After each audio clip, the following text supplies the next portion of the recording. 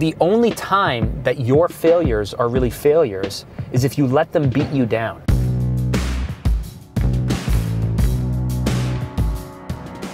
I want you to think about the most inspiring person, your hero, the person who comes to mind where I say, Who is your hero? And I bet if you went back in their story, they would have a time where they were at their lowest point. They would have the time where they tried something and risked something and failed. But in that moment, in that failure, in that time when they tried and they risked and they lost, something happened that made that lowest point in that failure actually lead them to be the person that you look up to. They learned something, they made a connection. And so when you're facing your failures, when you're at the lowest point, you have two options. You can let that challenge and that failure and those risks stop you, crush you, keep you from becoming the person you need to be, or you can say, I'm gonna learn from this.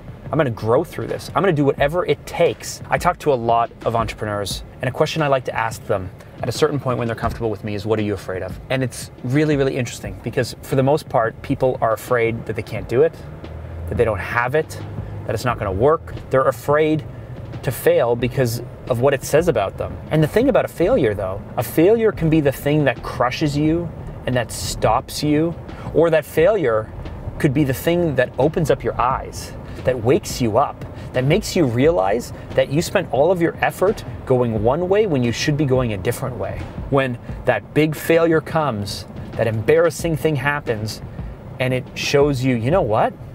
I have never been good enough. Or that failure could be the thing that you tried and that didn't work, but you learned something about yourself. You made a connection or built a new relationship, or that thing that you thought would go one way turned into another. I know for me, you know, like in my business, the greatest learnings, the greatest drives is when I realize that I have done something to fail. When I've let my team down and I'm the failure to my team, then I make the changes in the people or the processes or the hiring practices or the investments that I need to make. When I realize that something we have done has let a client down and I failed the client, and when I realize that my marketing is, is failing the growth of the company, I immediately focus on that very thing to get this thing fixed. But it's only in the failure, it's only in the pain, it's only in the eye opening uh, awakening that comes from realizing that, that things aren't as hunky dory as we thought they were. That's when you have the two choices. You have the choice to walk away, to hide, and say, I tried and I failed. What does that say about me in the negative, right? You're a loser. Or you have the opportunity to learn from it and then look back and say, it says that I'm the type of person who keeps going.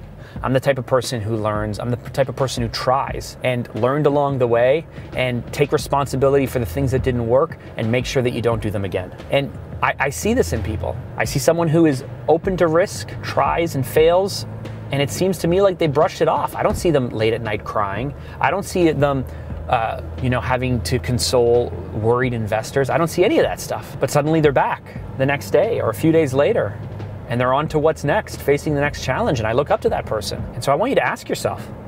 I want you to think about the failures that you've had, the bigs and the littles. I want you to think about the number of risks you're willing to take and what you're willing to put on the line. And I want you to think about what it says about you to take the risk and put yourself out there, to have the failure happen right to your face, and to feel it and to eat it, and then to use that as rocket fuel to drive you to what you're really capable of and not let that get you down. What does that say about you? That's the person that I want you to be. That's the person that I want to live up to being every single day.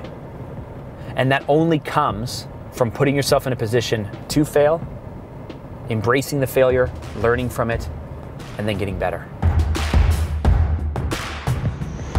Sales and marketing and scaling your business is important to you, be sure to subscribe to my channel or check out this video right over here.